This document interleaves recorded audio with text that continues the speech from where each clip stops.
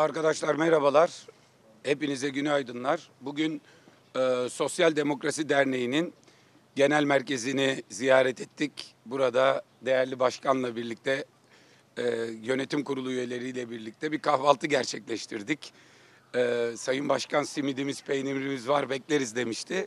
Bugün kahvaltıda onların misafiriydik. E, aslında Sosyal Demokrasi Derneği'ne uzun süredir bir ziyaret planlanıyordu. Bir türlü e, takvim müsait olmamıştı. Kendileri ben genel başkan seçildikten sonra randevu talep edince ben kendilerine randevu vermek yerine bizim gitmemizin e, uygun olacağını söyledim. Bugün o ziyareti gerçekleştirdik. E, dünyadaki bütün sosyal demokrat partiler kendileriyle benzer dünya görüşüne sahip derneklerle, vakıflarla sıkı ve yakın ilişki içinde olurlar. Oradaki üretim, oradaki teorik katkı pratik siyaseti hem güçlendirir hem zenginleştirir. Biz böyle bir arayışın içinde bundan sonra daha çok olacağız. Mevcut yapılarla ilişkilerimizi geliştireceğiz ve bundan sonra aynı dünya görüşüne sahip olduğumuz yapıların, derneklerin, vakıfların güçlenmesini, bize güç vermesini, bizim onlardan güç almamızı ve onların da bizlerin e, katkılarıyla ve destekleriyle e, daha özgürce üretmelerini sağlamak bizim için son derece önemli. Ben Sayın Sami Doğan'a, yönetim kuruluna e, nazik misafirperverlikleri için teşekkür ediyorum. Türkiye'de sosyal demokrasiye inanmış, daha adil, daha eşit bir düzen isteyenleri, birlikte üretimin ve birlikte daha adil paylaşımın hem Türkiye'ye huzur ve barış hem de dünyadaki tüm insanlara e, huzur ve barış getireceğine inanan herkesi Sosyal Demokrasi Derneği'ni tanımaya ve onlarla birlikte olmaya, üye olmaya davet ediyorum.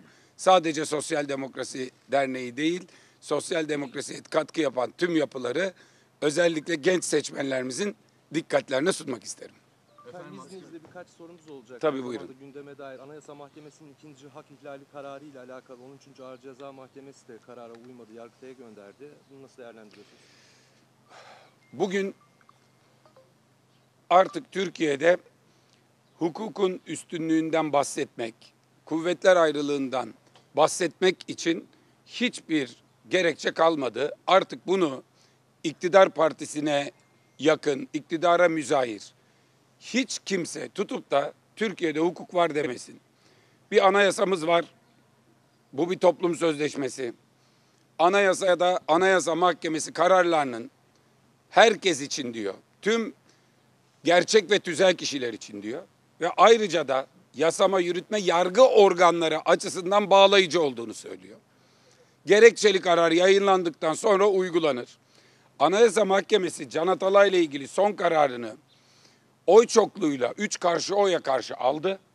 Ama yerel mahkemeye bildirirken oy birliğiyle gereğini yapmak ve karar kurmak üzere bildirdi. Yani Anayasa Mahkemesi'nde Can Atalay kararına katılmayan üyeler dahi kararın uygulanmak üzere yerel mahkemeye yollanmasına oy birliğiyle karar verdiler. Aksi anayasayı inkar olur. Bugün bir yerel mahkeme anayasa mahkemesine direnemez, direniyorsa talimatlandırılmıştır. Bu talimat kuvvetler ayrılığını hiçe sayan yürütme organının başı tarafından verilmiştir. Bunun aksini kim iddia ediyorsa bu milletin gözünün içine baka baka yalan söylüyordur. Yani evrensel hukuk normlarının dışında şu kadarını söyleyelim. Osmanlı'nın tarihiyle gurur duyup ondan övünmeyi kimselere bırakmayanlara söyleyelim. Fatih Sultan Mehmet diyor ki, kadıyı satın alırsanız adalet ölür. Adalet ölürse birazdan devlet ölür. Bugün yapılmaya çalışılan iş belki madden değil ama manen kadının satın alınmasıdır. Manen mahkemenin iradesinin yürütmenin başı tarafından ele geçirilmesidir. Çünkü Gezi davası onun kişisel husumet meselesidir. Türkiye'de kimin hapse gireceğine dünya liderimiz, kimin hapisten çıkacağına dünyanın öbür liderleri karar veriyor. Bu beden, bu can bu bedende durdukça salmam dediği papazı bir telefonla Oval Ofis'e uçuran, Merkel'in bir telefonuyla Deniz Yücel'i bırakan birisi bugün dünya liderlerinden birinden telefon gelse Can Atalay'ı bırakır. Ama Türkiye'nin buna ihtiyacı yok. Türkiye'nin hukukun uygulanmasına ihtiyacı var. Yapılan iş düpedüz darbe girişimidir. Hatay halkına sen milletvekili seçemezsin. Son kararı ben veririm diyorlar. Bu bir darbedir. Millet Meclisi'ne siz milletvekilinizi yemine çağıramazsınız. Son kararı ben veririm diyorlar. Bu bir darbedir. Meclis başkanına sen benim kararımı okutacaksın diye ayar veriyorlar ve hepimize birden anayasanın bir hükmü yok. Bu ülkeyi yönetenin kendi kafasına göre bir anayasası var diyorlar. Buna bütün Türkiye, bütün kurumlarıyla ve Türkiye'deki Türkiye'nin yarınlarına umut bağlamak isteyen herkes direnmelidir. Kadı satın alınırsa adalet ölür. Bugün adalet ölmüştür. Adalet ölürse yakında devlet ölür diyor Fatih Sultan Mehmet. Sözümüze değer veren herkesin hukukun üstünlüğüne inandığını biliyorum. Ama siyasi görüşü bizden uzak olan herkesin hiç olmazsa dönüp bir Fatih Sultan Mehmet'in ne dediğine bakmasını bekliyoruz. AK Partililer, MHP'liler, Recep Tayyip Erdoğan Fatih Sultan Mehmet'ten daha iyi biliyor olabilir mi? Bilemez. Çağ açıp çağ kapatmış bir padişah adalet ölürse devlet ölür diyor. Türkiye'de adaleti öldürüyorlar. Bütün anketler Türkiye'deki bütün toplumun adalet sistemine güveninin yüzde 15 ila 20 arasında ölçüyor. Yüzde 17. 100 kişiden 83'ü adalete güvenmiyor. Ve bunlar adaleti öldürmeye devam ediyorlar.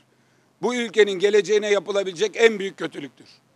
Efendim asgari ücret belli oldu. e, 17.002 lira. Bununla ilgili de bir değerlendirme yapar mısınız?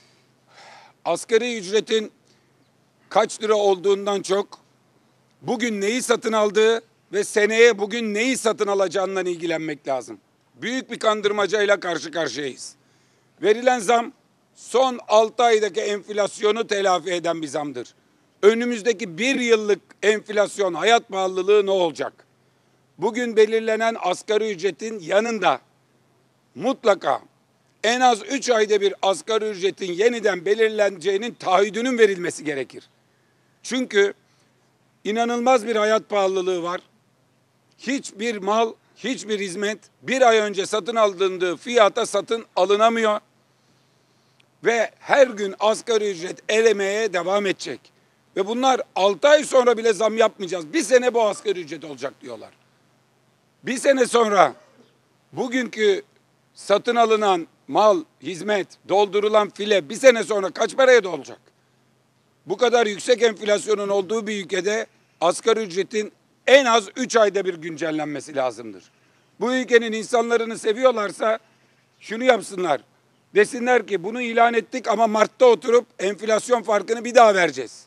Bu yapılmadıktan sonra açıklanan rakamın hiçbir kıymeti yoktur. Ayrıca ayrıca bir sorun da gelir vergisi hesaplanırken asgari ücretin dahil edilmesidir. Bu yüzden asgari ücretin gelir vergisi hesaplanmasına dahil edildiği sistemde ücretliler bu ay aldıkları maaşı her bir kademeyi aştıktan sonra kaybetmektedirler. Ve yılbaşıyla yıl sonu maaşları arasında bizi burada takip eden muhabir arkadaşlarımızdan kameraman arkadaşlarımıza kadar Türkiye'deki herkesin ödediği vergi dilimi artıp ödeyeceği vergi artacağı için eline geçen para azalacaktır. Bu konuda da bir kez daha uyarıyoruz. Derhal düzenleme yapılmalıdır. Sayın Özel, bugün Rütük Kızıl Goncalar dizisine iki kez program durdurma ve kanala da yüzde üç e, idari para cezası verdi. E, tarikatları kodu alan bir dizi, diziydi. Bunu nasıl değerlendiriyorsunuz? Ben haberi bi- biraz önce sizden öğrendim. Toplantıdaydık. Hem Rütük'ün kararını hem de Rütük üyelerimize bu kararın alınma sürecini e, kendilerinden bilgi aldıktan sonra bu konuda bir değerlendirme yaparım. Bu asgari ücret belirlenmesiyle ilgili tespit komisyonunun çalışmaları sürerken e, tarafları AK Parti Genel Merkezi'ne çağırıp kararın da orada verilmesiyle alakalı bir değerlendirmeniz olur mu? Şimdi asgari ücret tespit komisyonu yasal bir komisyondur. Kanunun emrettiği bir komisyondur ve yasayla kurulduğu için meclisin yani yasamanın verdiği bir görevdir bu. Yürütmenin başının yasamanın görevlendirdiği bir komisyonu ayağına çağırması, onlarla müzakereyi bir siyasi partinin genel merkezinde sürdürmesi ve daha sonra da açıklamanın bu şekilde yapılması o komisyonun tarafsızlığına, o komisyona Türkiye Büyük Millet Meclisi'nin yüklediği işleve tamamen gölge düşürmüştür. Ayrıca Recep Tayyip Erdoğan komisyonu kendi siyasi çalışması için araçsallandırmıştır. Komisyonu siyasetine alet etmektedir. Yaptığı iş bütün kurumları ve kuralları yıprattığı gibi böyle bir kurumu da yıpratmıştır.